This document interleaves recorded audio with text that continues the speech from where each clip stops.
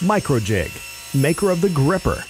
Work safer, work smarter. I wanted to design an artsy looking vase, and I thought it would be cool to design one that looked like it had open flower petals at the top. I'm not sure if I actually achieved that goal with this design because it looks more like an open box uh, than flower petals, but nevertheless, I pressed on.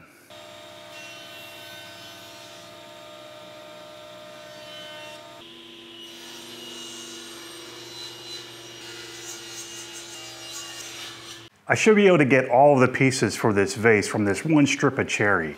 And because everything is coming from the same board, all the grain should match nicely. In theory.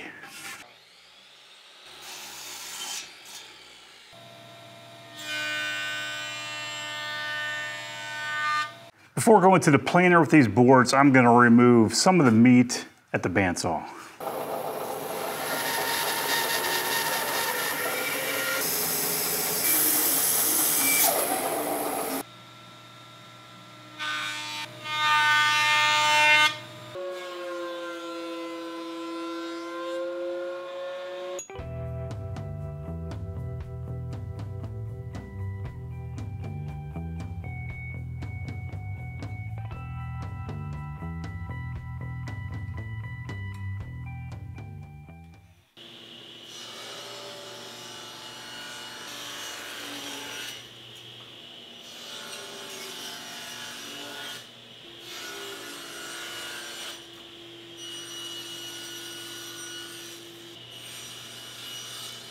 Now that I have all of the sides cut to length and both edges are cut square, I can cut the petals off at 22 and a half degrees.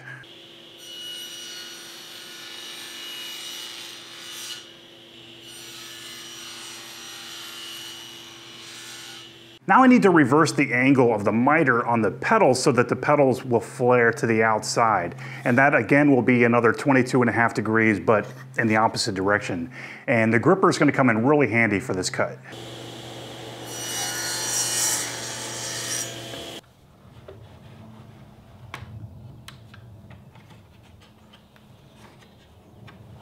I tilted my router table fence to 22 and a half degrees and I'm gonna use an eighth inch diameter spiral bit to make a groove in both the end grain of this side piece and the end grain of the petal section so that I can make a spline to join these two pieces together.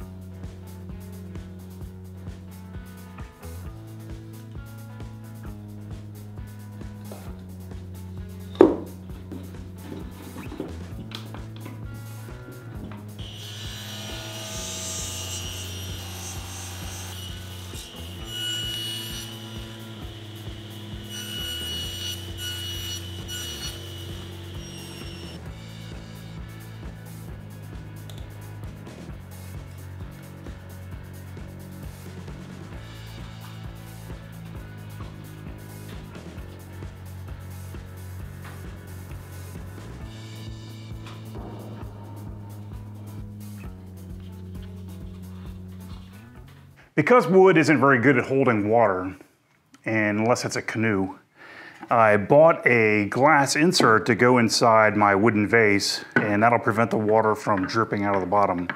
And I actually bought the glass piece before I designed my wooden vase so I knew how big to make it. I now have the prettiest wood shop in all the land.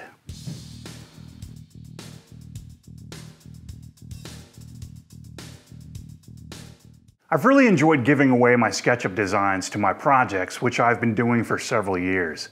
I still enjoy giving them away, but in order to get the newest SketchUp designs, you'll need to become a Patreon member of Garage Woodworks, and more specifically a Garage King level patron. This new level will do two things. It will encourage me to continue to make good SketchUp designs, and it will lead to support for my show. Last week's design, the Shoji lamp, now has a SketchUp model on my website that you could download when you become a Garage King level patron. I also have other levels of contribution that come with other benefits if you'd prefer only those.